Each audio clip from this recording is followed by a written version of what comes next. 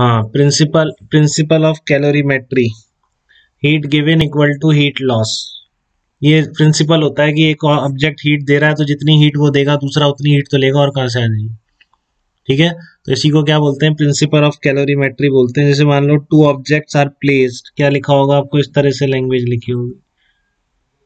Two objects are placed two object are placed in thermal contact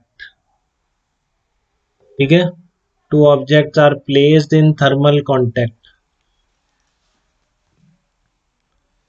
two objects are placed in thermal contact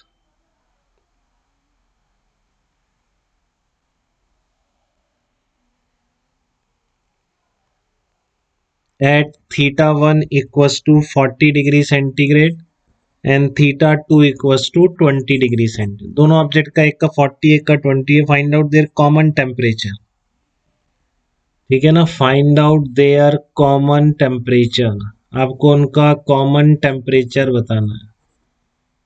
Find out their common temperature तो कैसे निकालेंगे common temperature उनका? तो वही लगाएँगे इतनी एक हीट देगा। मान लो फोर्टी एक का ट्वेंटी और गिवन है आपको, पहला, दूसरा, इनके मासेस गिवन है एम वन इनकी स्पेसिफिक हीट गिवन है।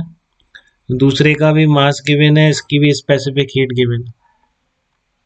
तो क्या हो जाएगा? Delta Q lost equal to delta Q gain तो जो आपका ज़्यादा टेम्परेचर वाला होगा, उसकी तो टेम्परेचर कम होगा और दूसरे की टेम्परे हीट लेने की वजह से उसका टेम्परेचर बढ़ेगा। ठीक है? तो मान लेते हैं let final temperature is theta fine और तब तक चलता रहता है इस तरह का ट्रांसफ़र हीट ट्रांसफ़र ठीक है? तब तक चलता रहेगा जब तक कि आपकी दोनों की जो ही वो है हीट जब तक कि दोनों का टेम्परेचर इक्वल नहीं हो जाएगा। ठीक है ना? जब तक दोनों का टेम्परेचर इक्वल नहीं हो जाएगा, तब तक हीट ट्रांसफ़र चलता रहेगा। तो let final temperature is theta final let final temperature कितना है? थीटा फाइनल फाइनल टेम्परेचर तो लॉस्ट और गिवन गेन को आप इक्वल कर लेंगे। तो लॉस किसका हुआ है? इसका हुआ है।